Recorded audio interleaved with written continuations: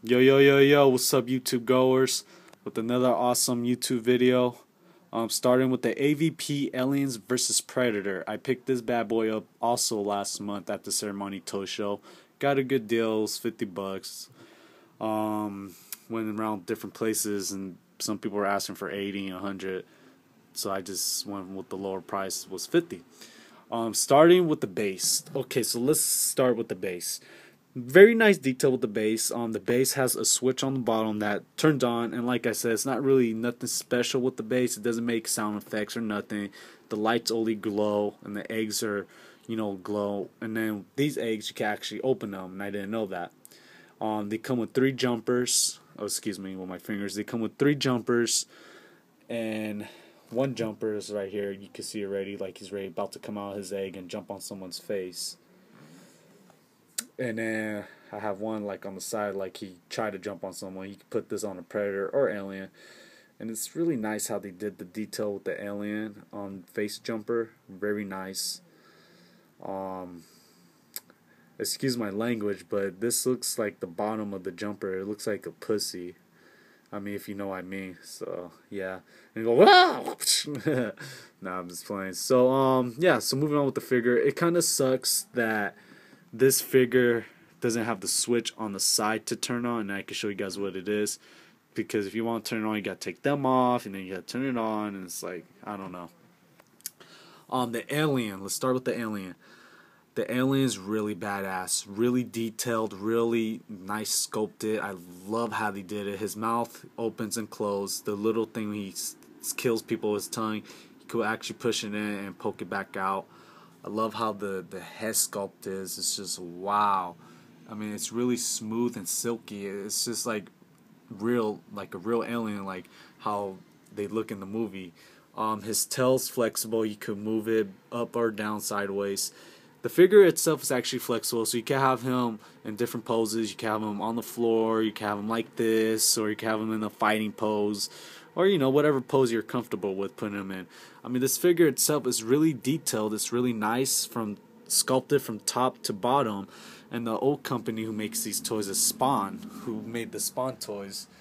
I don't know the actual name, but I believe the figure itself they don't make them no more. So like you can see right here, that's where you push his little tongue in, and he, you know, that's when he does his final kill on people. I mean, this figure is really nice. It's really, I mean, I'm not really an Aliens fan. I probably care more for the Aliens more than the Marines. And you know, this figure is just worth it. Um, I'm not like I said, I'm not an Aliens fan. I never followed the movies that much. I mostly followed the Predator movies, and I'm more a Predator fan than Aliens. But I picked this one up because when AVP Alien vs Predator came out, I was like, wow, I gotta get this. So you know, I wasted a lot of money a couple times at the toy shows at ceremony before, but I could proud to say I'm happy that I got this one. Um, starting now, starting with the Predator. The Predator is really nice, actually. Really nice detail. I love how they did the sculpting on this guy. It's just um, he's flexible, but he's not that posable, just like the um alien. Um, Healy could like move a certain way. You can't put his legs straight. You can't put his arms straight forward. That's how his body is posed. Let me try to zoom into his face right there. Yes, yeah, so right there, I love how they did that head sculpt. It sucks he didn't come with his mask and could like take off and put on again. But I understand you can't like make a figure. You can like remove the jaws like they did with the Hot Toys ones. Um, I miss my Hot Toys. Excuse me, but you know love the detail, love the, the, the way they made the Predator, and it's really badass. I, I mean, I gotta admit. I mean, these figures I like, the detail ones, like I said, I prefer these than the crappy figures that they be selling at Toys R Us or Target. Like I said, they're expensive, but you gotta pay more for them. Um, the skeletons around the Predator, I love it. Um, this is his trophy kills of people he killed and animals he killed throughout the years and future. Um, so he carries his trophies around him, and that's really nice. Comes with a little black thread. I mean, nothing a big deal. Comes with his gun patch on his shoulder. You actually could take it off if you wanted to.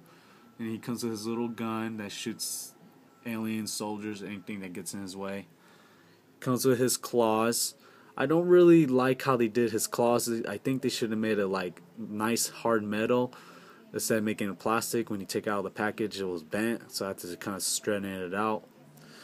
And yeah, and then we got the nice bottom of his feet. And really nice detail. And then right on this side right there, right here, is his time detonator. If he loses to the alien, whoever, that's when he blows himself up. Um, so three things I don't like about this figure though. One is like I said, the base. To turn it on, it's on the bottom, and I think that was kind of stupid how they made it. They should have put the switch like on the side of the egg or something. Two, these figures are hard and pain in the ass to stand, because normally when I was trying to put them in a good fighting pose stand, they're always falling over each other or falling off, and I was getting pissed, and it was hard to um stand these guys. And let's see, two, I mean, uh, excuse me, three. Um, the problem is with these figures, it's not really the aliens, mostly the predator you know how like when you put these figures on their stands, they're the black paint on the bottom of their feet, like kind of mostly their claws, like right there. It normally gets scratches easy, and that's really pain in the ass. But it's not really a big deal. You can't really tell. What I'm just trying to say is they should put like better paint on these figures, especially when it comes to the predators, instead of putting cheaper paint. I mean, you guys put so much detail in these figures. I think you guys should, you know, work it up a little. But my whole point is, they're hard to you know stand. And um, like I said, there's nothing wrong with the figure. I'm just putting my suggestions and how I feel about this figure. But anyways, YouTube goers, let me know what you think of this figure. Feel free to leave comments. If you're an AVP Aliens vs Predator fan, I recommend this to you guys. And I recommend Predator. If you guys are Predator fans, get it. If you're Aliens fans, then get it. Which side would you choose? See you guys later. Late. Ooh.